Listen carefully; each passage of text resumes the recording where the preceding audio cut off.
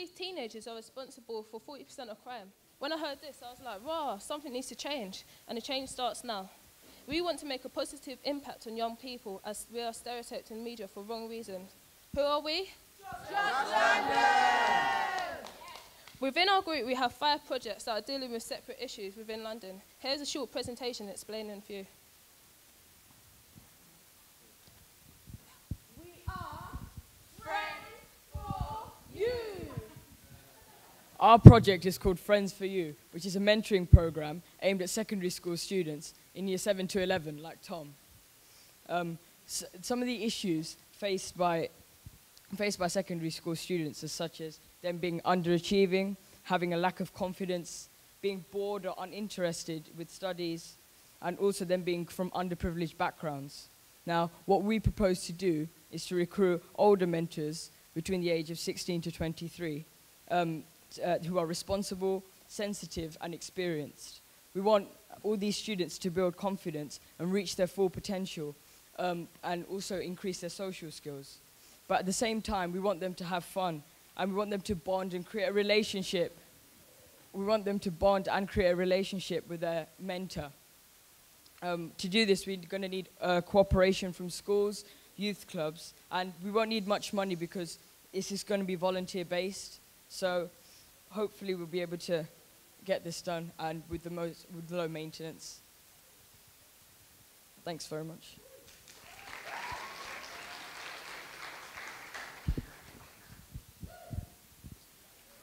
Every year, a vast amount of food is chucked away by either major supermarkets or retailers. The majority of it only because it's gone before, it's, it's gone up after a sell-by date or a best before date. Just because a piece of food has gone before, has run out of its uh, sell-by date or best before date, does not make, mean it is unsafe to consume. Therefore, we, we, we wanted to promote a project in which we take the food from the supermarkets when it's gone out of its sell-by date and distribute it to people impoverished who in London or have no food. Now,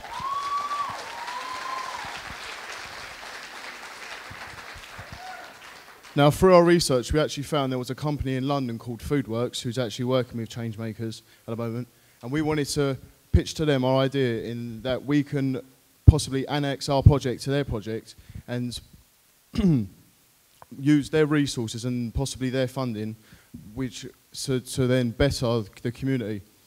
By bringing our energy and our passion for this subject, we would then we would then we would then better the community and give people food. Basically, thank you.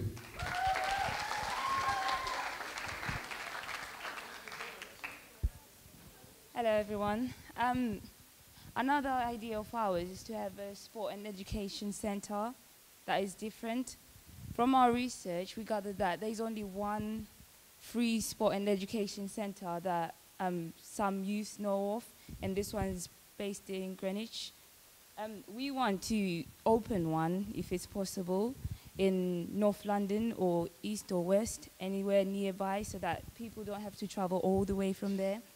Um, the free facilities will be available for 8 to 18 year olds, and we aim to provide martial arts, basketball, football, um, any of the major sports that they want to play. Um, And next slide, please. Thank you. Uh, sorry about my voice, just that I had too much fun yesterday.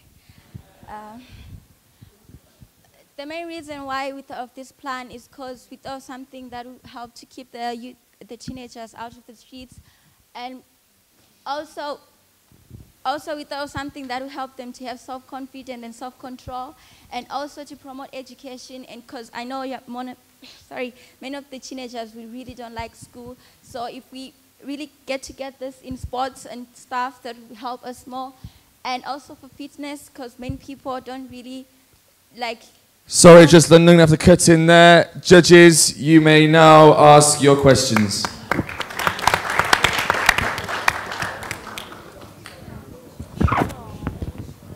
Can I, the first question I got is, what were the other two projects?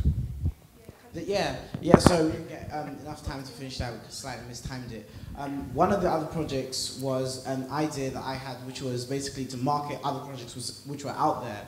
So um, projects, you can have projects, but they won't necessarily work if you don't get the right amount of people going to them or if you don't get the right type of people going to them. So there are projects out there that you don't know about. So the idea is to um, apply for money from the Youth Capital Fund. If they don't give it, keep applying and applying and applying, and just use that money, um, apply with, um, link with um, media and with marketing people to try and um, market projects so that projects will come to us to try and get publicity so that they can be successful.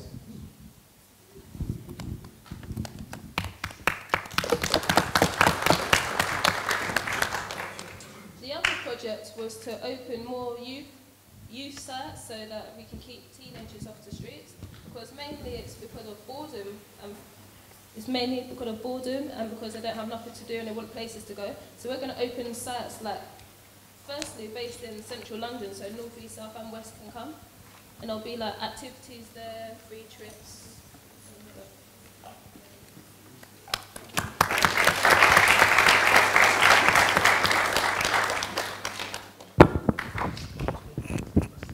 Hi guys, quick question on the um, uh, mentoring program. Um, how many volunteer mentors would you like to attract in your first year and where do you think you'll find them?